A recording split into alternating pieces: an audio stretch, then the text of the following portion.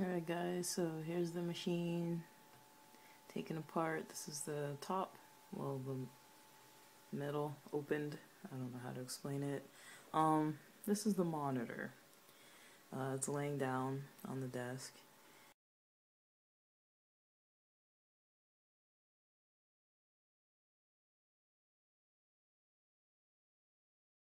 Here is the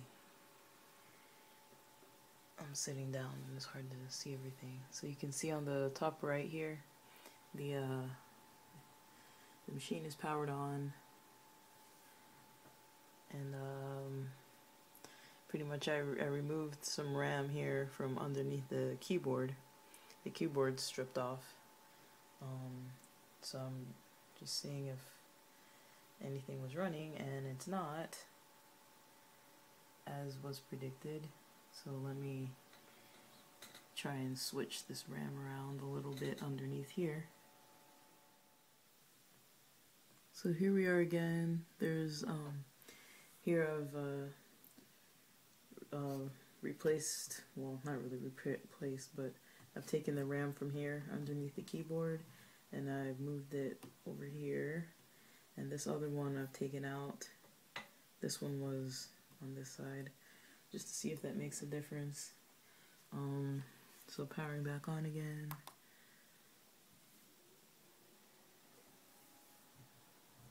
Um, last time when I powered it on, this fan turned on first, and then uh, this fan over here on the left, and then this second fan turned on a little bit afterwards. But now it seems like they both just turned on at the same time.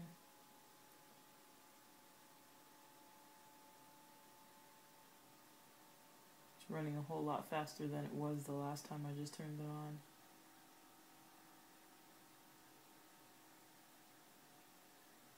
Um, but it's still not, I wouldn't call this too loud, honestly. I don't know if you can hear it very well, but I wouldn't call it too loud. Like it's, it doesn't seem like it's running like super hot or anything. Um, You can hear it. It's still running pretty quietly. Um, we still have no picture on the on the monitor. Um, trying to make sure everything's kind of plugged in okay. I mean, it really seems like it is. There's nothing kind of loose with the monitor. Um, even if there was, I think there should have been something displaying on the uh, on this external monitor over here. Um, we would have had something displaying on that external monitor if um, if this was actually like just a connection issue with the monitor to the motherboard. Um, so I'm thinking it's not just a connection, it's likely more of a more of a video card issue really. Um, with reseating the RAM and kind of switching them around, it's not making much of a difference either. Trying to uh, reboot by, you know, holding, like taking out all the power and holding down the power button for a few seconds, um, more than a few seconds, like almost a minute or half a minute, trying that multiple, multiple times and then, then re, you know, putting the power back in, either battery or um, the power cable or both or one or the other. Um, yeah, I'm stopping talking. You can hear the fans are heating up a lot right now. They're running. They're running a lot faster and louder right now. Um, that's after about like two, three minutes. So, uh, Um, hmm. I don't think I have much more to say for this little segment, but you can see looking inside the motherboard, everything looks alright other than other than this like dustiness that's everywhere. Um, I'm gonna need to clean this out really good. Um, but other than this, uh, just looking at the surface, while everything is still um, hooked up to the motherboard. Everything looks okay, honestly. Um, I haven't really gone to the other side here. I haven't really flipped it over. I haven't really messed with it other than just opening it and seeing what's underneath the keyboard um, and taking off this top panel and just looking underneath here. All I've really done was look around um, and other than disconnecting the keyboard, I haven't really done anything other than just removing the RAM and putting it on the other side here. Um, so, I mean, that's really making no difference. So, I guess, uh, I mean, I, I, I don't really know what else to try other than trying to mess with the video card and see if it's gonna give something, uh, kind of, you know, show something. I just think it's a little, two little suspicious things that, uh, first of all, it's not displaying anything on the main monitor here on, on the laptop. is also not displaying on the, uh, on the external monitor.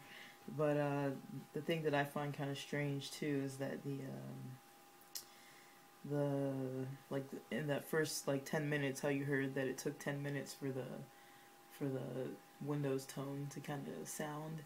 And so that was kind of strange, I thought, because um, usually that's like one of the first things you hear when you turn on the computer if it's working okay.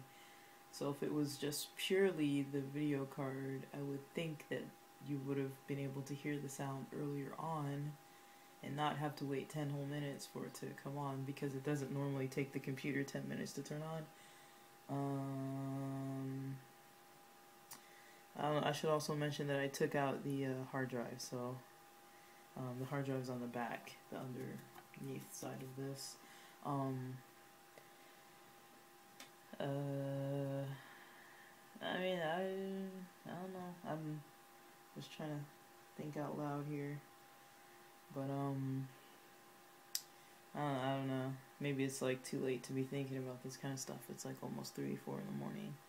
Uh, but um, I mean, Just gonna keep going with what I was gonna try and do and see what happens if anything and if nothing happens um, I, don't, I don't know I just want to take a look around in here and see if it makes a difference if anything is kind of unplugged a little bit or kind of loose wiring um, honestly everything looks pretty good on the top side here.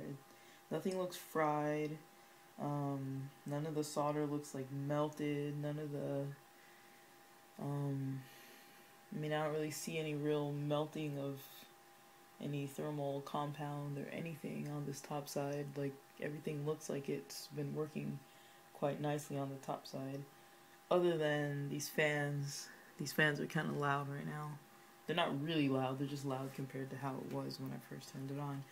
Um, they're they're pretty smooth considering all the dust that's in here and everything. Um, I mean, I think it could probably be a little smoother, maybe if I cleaned it up a little bit more. I've never been inside here before, so uh, I just decided to do some filming while I'm in here because I don't really want to have to take it apart again because it kind of takes a bit. Um, I don't know if this is interesting at all, but anyways, I kind of made a little scheme here with a piece of foam uh, from the back of a little project kit. This project kit was from a synthesizer that you kind of put together uh, basically, I drew the bottom part. Those are where all the screws go. This is the um, kind of the back top part of the monitor, like where the monitor is connected to the back panel. Um, and then this is kind of inside underneath the monitor, kind of on top of the keyboard, like the, the top four uh, screws that go on top of the keyboard. It's kind of keeping things in place.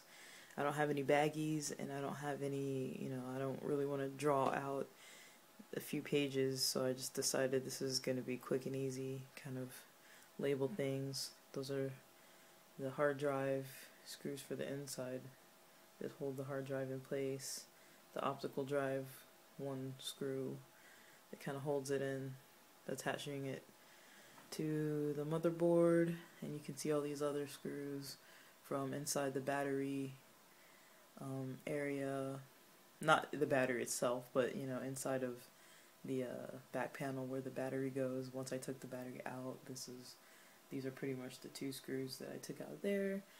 Um, there were two screws underneath um, where the hard drives could go. If you put one or two hard drives, those kind of two screws in the middle, you could take those out. Well, you need to take them out. And um, all the other screws on the outside of the pink part, they're just um, the screws that go just basically generally, that's just generally where they go.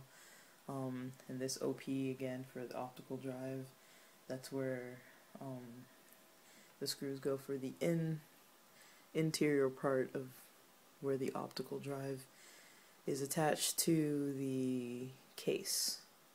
The yeah, the case. So pretty much that's my way of keeping things um, organized, and I hope I don't end up knocking it over or something because I'm I'm kind of limited here, as you can see, with like desk space and like space in general. I have my desk kind of like next to my dresser, so that's pretty much all the space I get against this whole wall, and I don't have any other space in my room other than the floor and the bed, which aren't very good workspaces, right? Like, you don't want to be losing screws like in your sheets or losing screws on the floor or whatever. Um, at least I don't have carpet right now. We have we have wood floors in here, so it might be a little easier, but I don't I don't want to risk like waking up in the middle of the night and like stepping on this thing or something. So I'm just I'm just gonna keep it off the floor really. Um, that's just the safest bet for me. Um, I mean, I don't know. I'm just just gonna keep at it. Just wanted to keep adding little bits of footage to just see the progress in case anything works. Um, in case anything starts just working by itself randomly. That would be nice because I don't really, I'm not really too thrilled about taking things apart more than they already are, but that looks like that's what's going to be happening. So, uh, at this rate, uh, I guess stay tuned and uh, we will keep hacking away. This wasn't actually, I just want to make one more note. This wasn't actually so hard to take apart.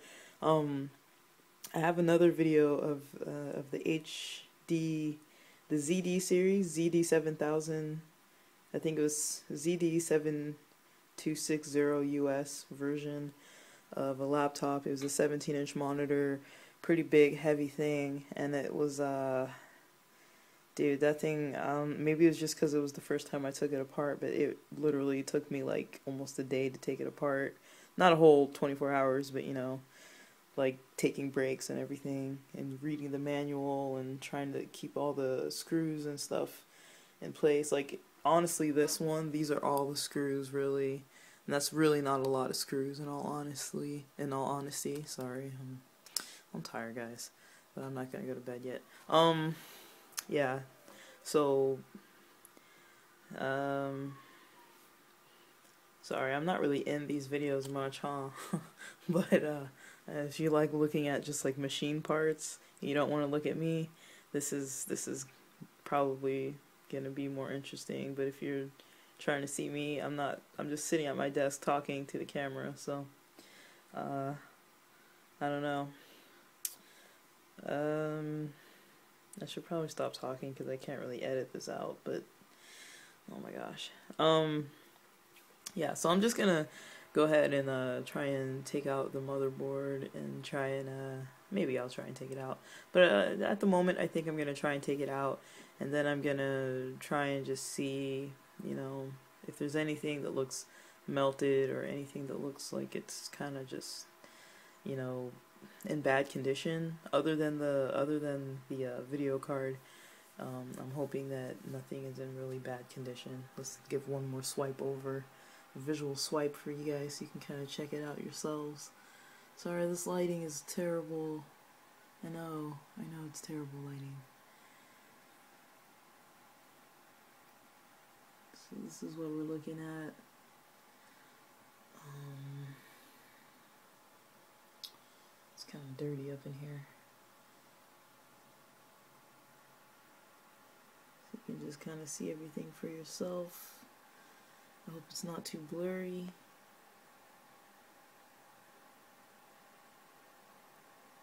Just kind of look at everything. Alright. We're coming up on almost 15 minutes for this segment, so I'm going to stop it so that I can actually upload it to YouTube because I don't want to have issues like I did with the nice video I made before that I was not able to upload and I was disappointed. So, uh, alright, until next time, you guys. Uh, guess if you have any comments or anything, just let me know. Alright, thanks for watching.